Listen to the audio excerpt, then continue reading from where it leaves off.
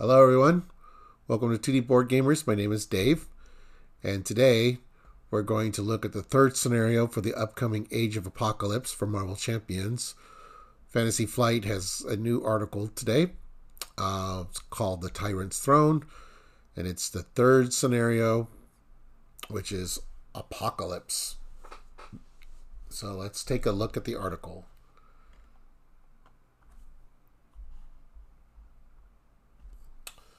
The apocalypse is nigh. As we approach the onset of Marvel Champions, the card game's latest expansion, we want to provide a deeper look at each of the scenarios in the Age of Apocalypse campaign. Today, we're showcasing the campaign's third scenario, which features the titular Apocalypse himself. Stop the Apocalypse. As we touched on in the Age of Apocalypse announcement article, Apocalypse is a nine invincible tyrant that can't that cannot be defeated through normal means. His villain cards has four different stages, and and which one he starts on he starts at depends on your chosen difficulty. For an easier game, he will start at stage one. For standard difficulty, he starts at stage two and on Expert, he starts at stage 3.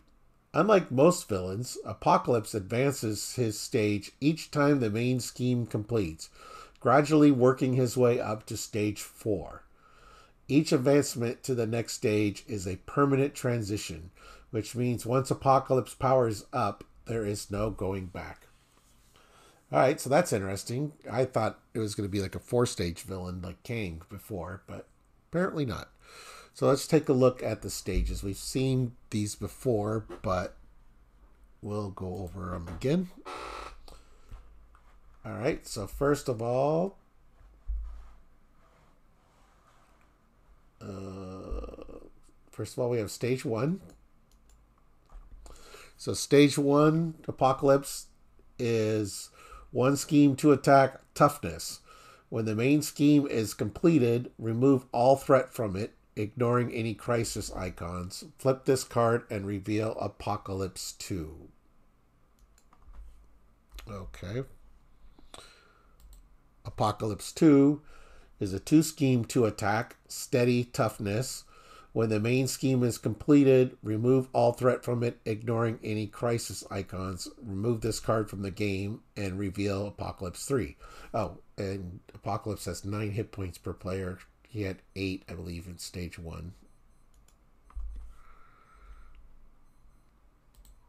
Uh, stage three, this is where we'll start an expert. Uh, schema two, three attack, steady toughness. When the main scheme is completed, remove all threat from it, ignoring any crisis icons. Flip this card and reveal Apocalypse 4. He's got 10 hit points per player. And Apocalypse 4, he's a 3 3 now he's stalwart, tough. Apocalypse attacks gain overkill. Forced interrupt. When the main scheme is completed, the players lose the game.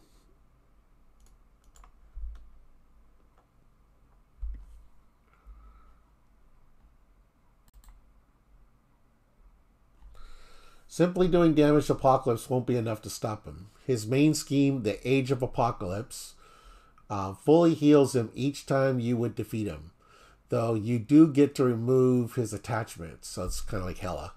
Um, more on those in a moment. Along, alongside some free threat removal, in order to defeat Apocalypse for good, you'll need to prove that he's no longer fit to rule.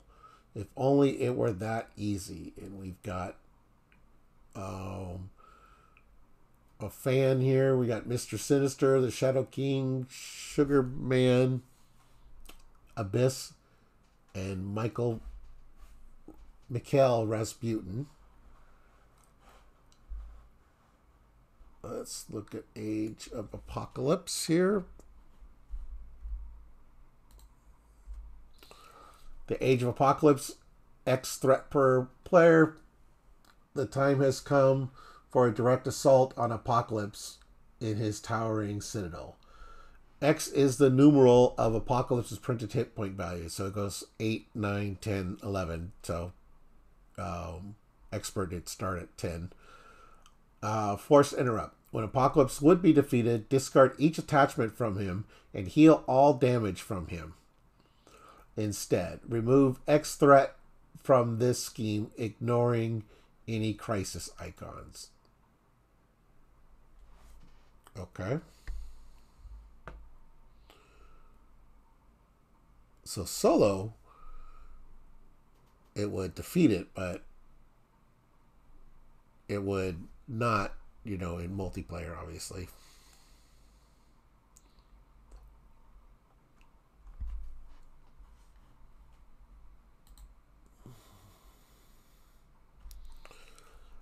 Just getting to Apocalypse Throne is challenging itself.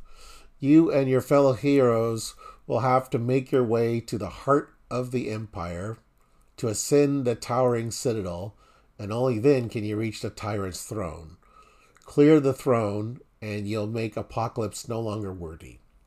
However, each step on the way you however, each step of the way your progress is halted and hounded by one of Apocalypse's prelate minions Mr. Sinister, the Shadow King, Abyss, Sugarman, and Mikhail Rasputin. You'll you'll ha- you'll face a random prelate at each step of your journey, and you can't proceed to the next step until you've taken them down. Okay, so let's look at all those cards. Heart of the Empire. Before you can challenge Apocalypse, you must fight your way through his tower. Threat cannot be removed from this scheme while a prelate minion is in play. When defeated, the first player reveals a random set aside prelate minion. Deal each other player an encounter card. Flip this card over. So it's only got two threat, but we got to deal with the prelates, and this has got an acceleration token on it. All right. Then we have the Towering Citadel. Threat cannot be removed from this same thing. Threat cannot be removed while there's a prelate. There's the when defeated is the same. The first player gets a prelate. Um, everyone else gets an encounter card.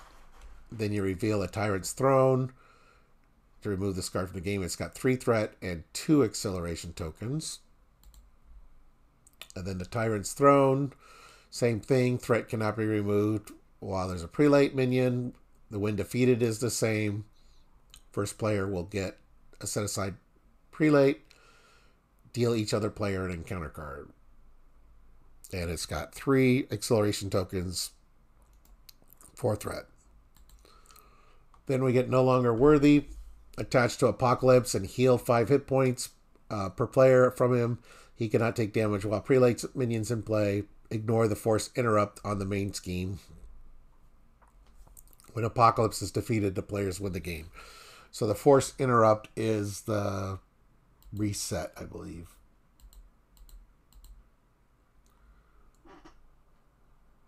Yeah. When Apocalypse would be defeated, yeah, okay, you, re- you reset it, put threat. Obviously, he can be defeated now. All right, then we look at the prelates. So first we have Mr. Sinister, who's a 1 1 5 health per player, Retaliate 1, Toughness, Villainous, Victory 3. Mrs. Sinister engages the first player. And I'm hoping the victory points are, are relevant in this campaign.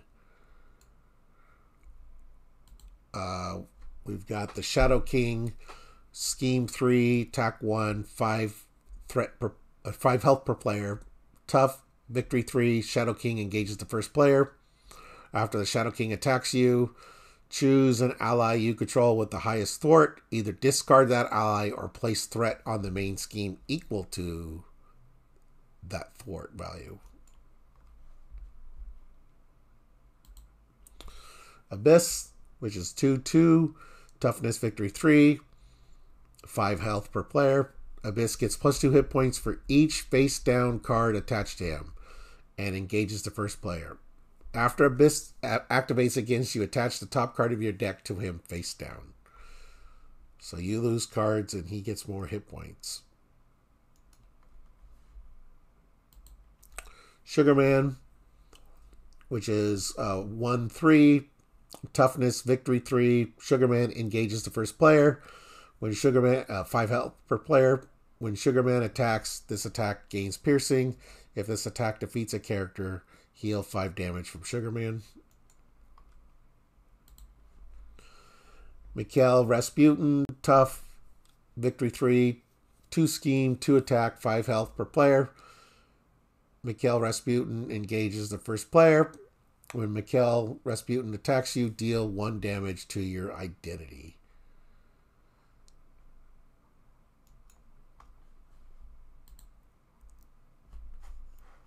All right.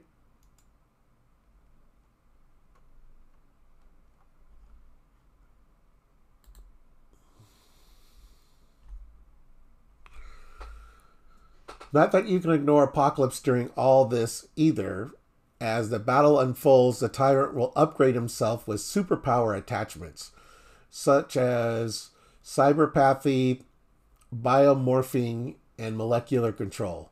The only way to get rid of these attachments is to reduce Apocalypse hit points to zero, triggering the main scheme's effect, which means the longer you let him gain, uh, gather power, the more difficult he'll be to take down.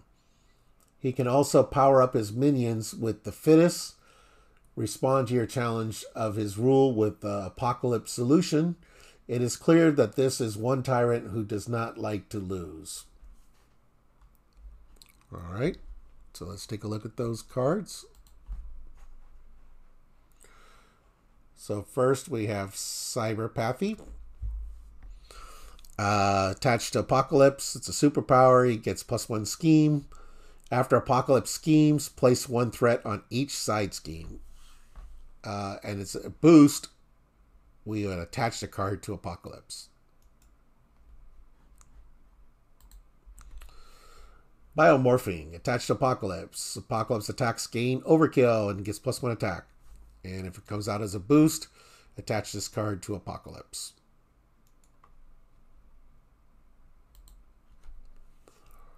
Molecular control attached to Apocalypse. Apocalypse gains Retaliate and Stalwart.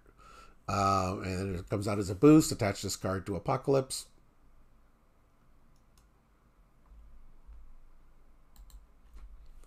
The Fittest. Plus one, plus one. Attached to the minion with the highest printed hit points and give it a tough status. Otherwise, this card gains Surge. Attach enemy gains plus five hit points.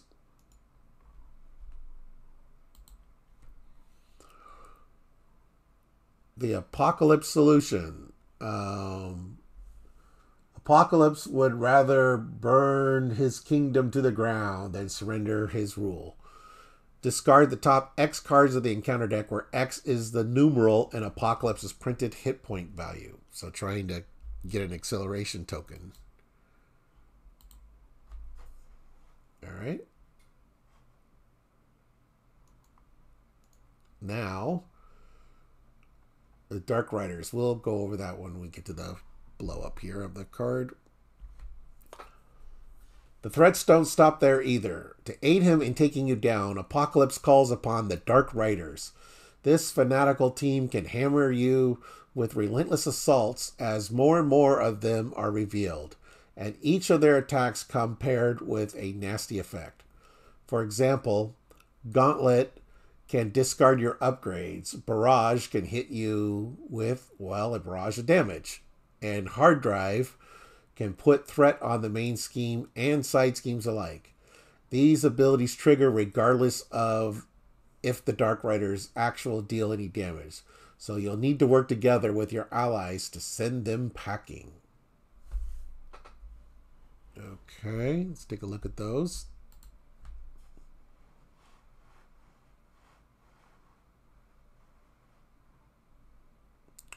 So we got the Dark Riders. They're, the Dark Riders live by the action. The weak must perish. Uh, hinder, one per player, starts with two. Each Dark Rider minion gains toughness. When revealed, discard cards from the encounter deck until a Dark Rider's minion is discarded and reveal it. Then we have Gauntlet. Gauntlet is a 2 2, 5 hit points. Teamwork, Dark Riders. Oh, goody. So they got the teamwork ability. After Gauntlet attacks you, discard an upgrade you control.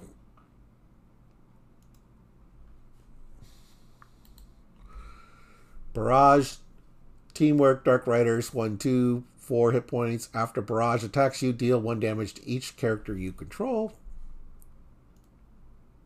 And Hard Drive. Hard Drive is a 2 1 Teamwork, Dark Riders. After Hard Drive attacks you, place one threat on each scheme.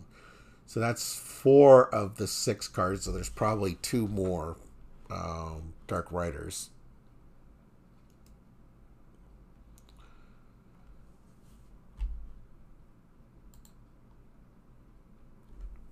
Speaking of working together, the Age of Apocalypse expansion also brings about a rule change regarding how the teamwork keywords work in oh, in all Marvel Champions products.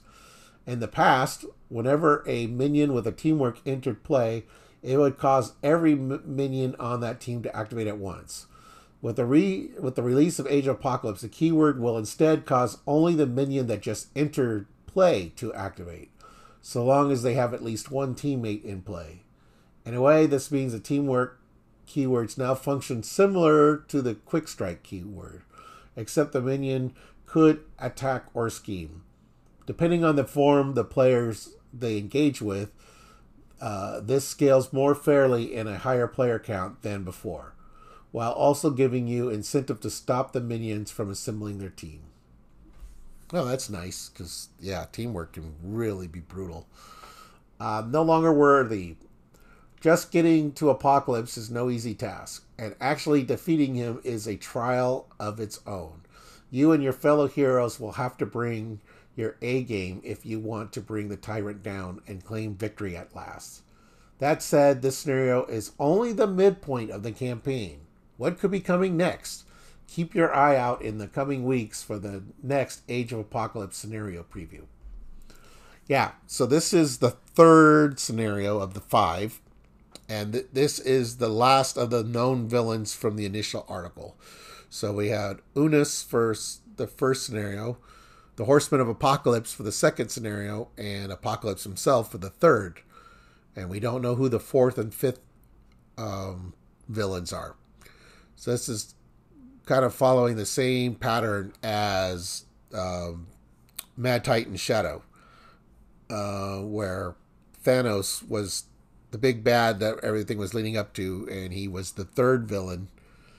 And then we had Hela and Loki as as like a surprise.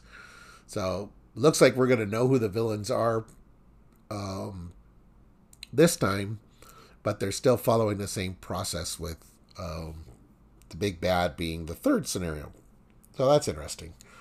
Um, okay, so it seems like it's about every two weeks or so they've been having the new article, so we'll be able to see Article 4 soon, and then Article 5, and then shortly after Article 5 comes out, then the product should come out. So I'm looking forward to this, and I'm like that the, the teamwork uh, power is changing. Um, that's good news. Um, okay, well, with that, um, I think I will sign off. Thank you for watching. Please like and subscribe.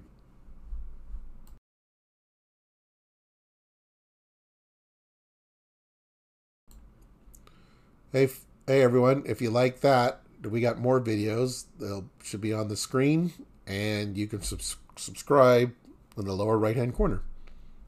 Thank you.